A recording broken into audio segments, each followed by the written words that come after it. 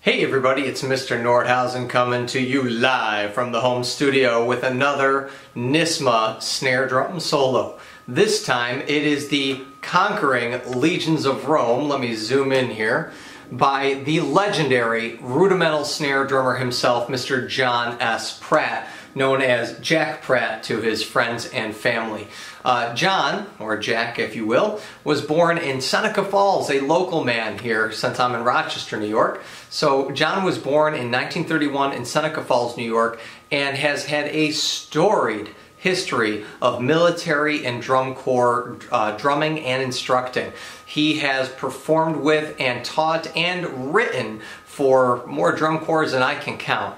He was also in the West Point Military Academy Band and uh, in the Army for over 20 years until he retired. And when he retired from that year, uh, those years of service, he moved on to become an English teacher in New Jersey and lived in the New York City, New Jersey area for the rest of his life. And unfortunately, he just recently passed away about one month ago. So he lived an incredibly long, fulfilling life uh, and gave us a plethora of drum knowledge and repertoire from which to play. Um, he's written several method books and rudimental books and solo books and um, I've even had a couple friends that had the great fortune of either playing with him or playing for him or even studying with him.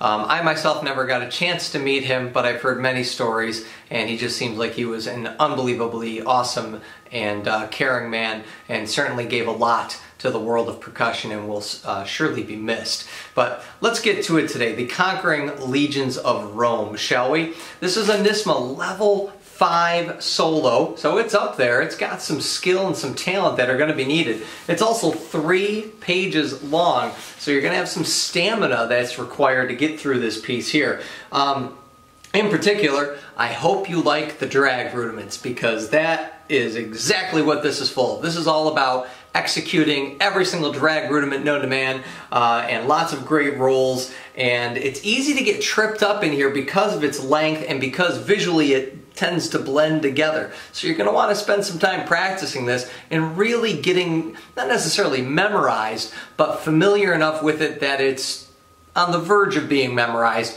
because reading it straight through can be quite challenging.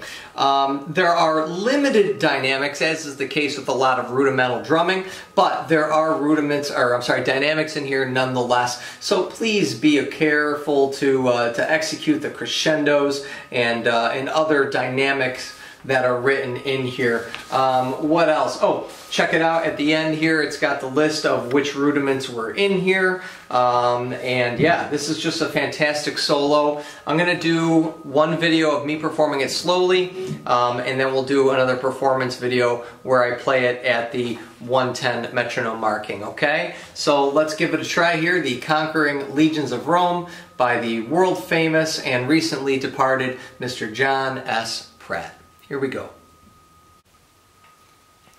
All right, and we are back with the Conquering Legions of Rome by John S. Pratt, NYSSMA level 5 snare drum solo. I've got my metronome set at quarter note equals 76. Uh, I, I, think that's a good way to, um, uh, a good tempo rather, to start practicing at. And even though I'm about to start at the beginning, and play all the way to the end. I highly recommend as you're learning this, you break it down in sections. Um, conveniently, I'd follow the letters. So work on A to B, then work on B to C. Okay, cool, now I'm gonna do A all the way to C. And break it apart in chunks like that and you're gonna find yourself to get much quicker results um, and better results. You're gonna learn it better. You're gonna continuously play over the same sections, which is only gonna help to reinforce what you've already learned. So I highly recommend that model of learning and practicing. But for now, I'm going to set that quarter note equals 76 on my metronome. I'll start at the beginning and I will play until the end. Here we go. One, two, one, and two.